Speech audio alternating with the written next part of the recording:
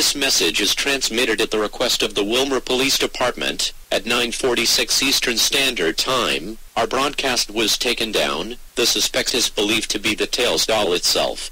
We do not know how to get rid of the doll. Since all attempts to destroy it were failed so far 9 reported pets have been killed and 12 civilian deaths have been reported. To ensure your safety, lock all doors and barricade all windows.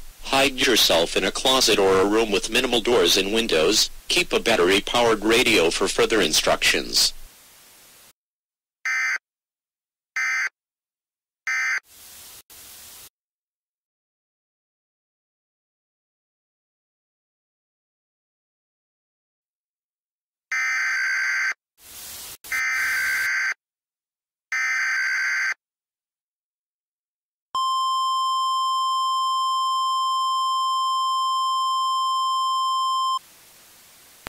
This message is transmitted at the request of the Wilmer Police Department. Residents of the city of Candy, Ojai and Wilmer, lock all your doors immediately. The Tails doll is on a killing spree, killing over 50 pets and residents of Candy, Ojai and Wilmer. We do not advise leaving your house or staying in an open area.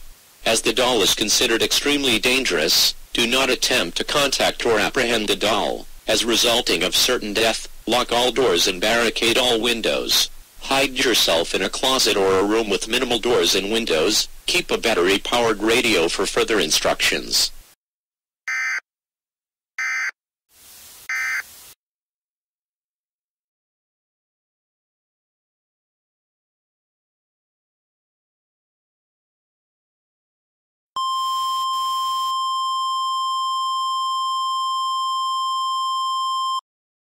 An administrative message, we will not be able to make any more broadcasts until 7 a.m. Eastern Standard Time. We are sorry for any inconvenience this may have, or will have caused.